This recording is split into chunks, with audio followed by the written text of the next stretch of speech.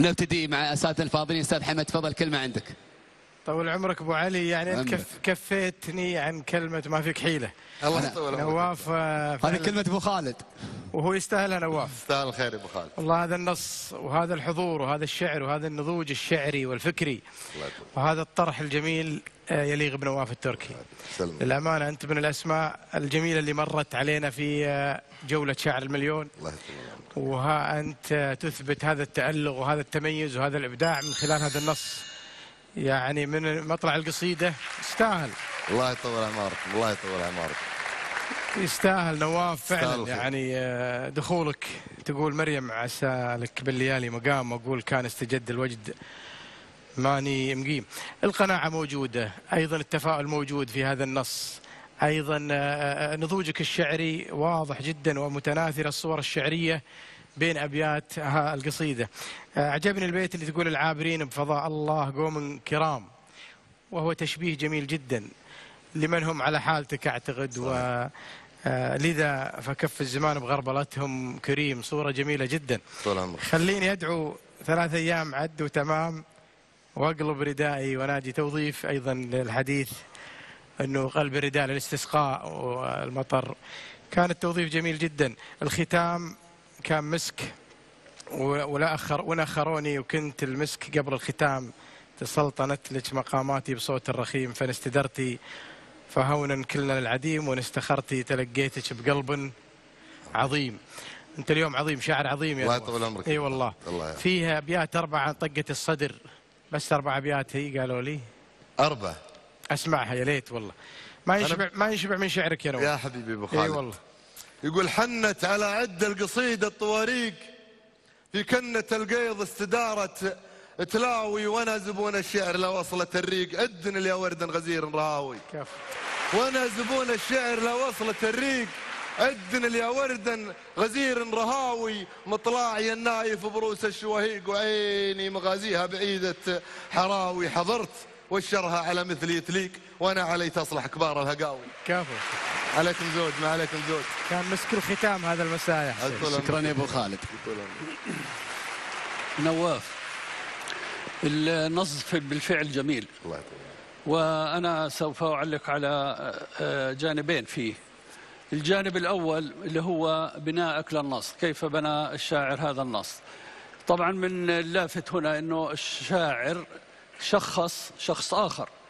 في القصيدة اللي هو اسمها مريم. قد يكون حقيقي وقد يكون غير ذلك لكن المسألة هنا مسألة البناء الموضوعي والفني للقصيدة بأنه أتى بهذا وهذا أسلوب طبعا معروف في الشعر العربي وقد جاء به الشاعر على خير طريقة أنه يستحضر شخصية أخرى ويناقشها ويدير حوار معها.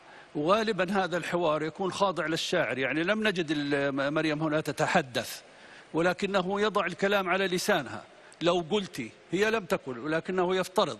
فهو يفترض السؤال ويرد بالجواب وذلك نوع من التنويع إنه هنالك من يناقش هنالك من يأتي بأطراف الحديث من هنا وهنا. وهذا الحقيقة إنه أسلوب جميل يمكن في تكون اصطناع. شخصية واقعية حقيقية ممكن موجودة. ممكن جدا. آه. شو ملتزم الصمت وما لا تعليق تبغاني اعلق يعني؟ يتحرش فيك ابو خالد مريم آه، لها أكثر من وجه ووجهه يعني. الشعر إذا ضيقته ضاق إذا أعطيته ساعة اتسع لا هم قلوبهم خضراء عشان كذي يسألونك. يعني.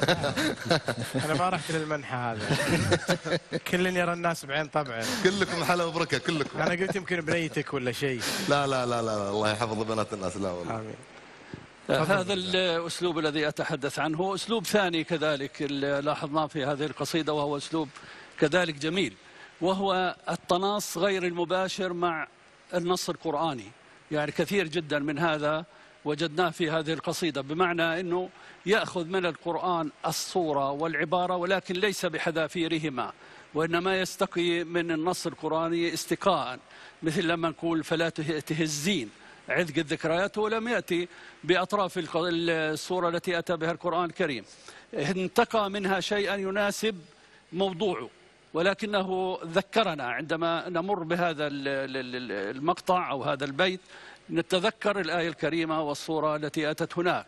طبعا هذا ماذا يفيد؟ أولا يفيد في أنه يقوي النص لأن النص القرآني لا مثيل له وهو الأبلغ وهو المعجز هو يستمد منه هذه القوة. كذلك تذهب الصورة بنا إلى بعيد إلى أبعاد التي آه، أشار إليها القرآن الكريم وبالتالي فيتسع المجال للشاعر لكي يقول. فعل ذلك في آه، مناطق آه، من القصيدة كثيرة جدا. فلا تهزين مثلا لو يسكنون الأراضي لما قال إنه اسكنوا الأرض مثلا لما قال وانفخ لكم الروح برضه معروف هذا. آه، في عظم الكلام الرميم كذلك هذا في تناص غير مباشر.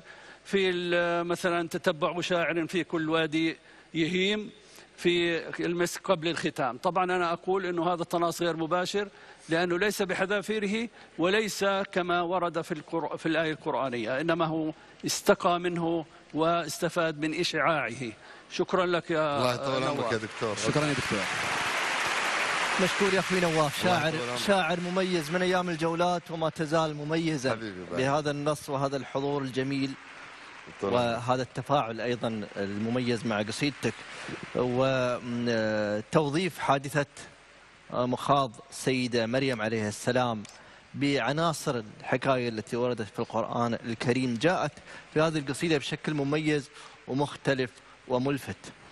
كان آه، الاختلاف ذكي آه، من ناحية آه، التوظيف هذا. وإذا هدي نتحدث عن حادثة السيده مريم عليه السلام نتحدث عن آه، غير عن ال- أيضا ال- ما أشار له آه، أبو نزار بخصوص آه، النص القرآني وتوظيف رموز آه، من النص القرآني ولكن حتى من من الدين بشكل عام آه، من ناحية ال- المناسك مثلا. يعني وجود مثلا أتحدث عن صلاة الاستسقاء أو بعض آه، رموزها وعناصر تشير إليها وتدل آه، عليها وغيرها من الدلالات الدينية الواضحة في هذه القصيدة وكانت موظفة بشكل آه، ذكي.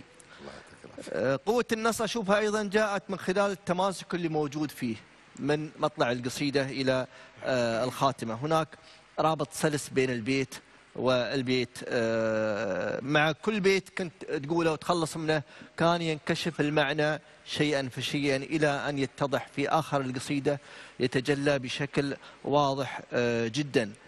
وعندك ما شاء الله قدرة آه، عجيبة على أنك تخلق أو أنك خلقت في بعض الأبيات إدهاش شعري صورة غير متوقعة. آه، فيها ابتكارات جميلة. أنا أحييك وأشكرك على هذه. القصيدة أخوي الله الله يبقيك.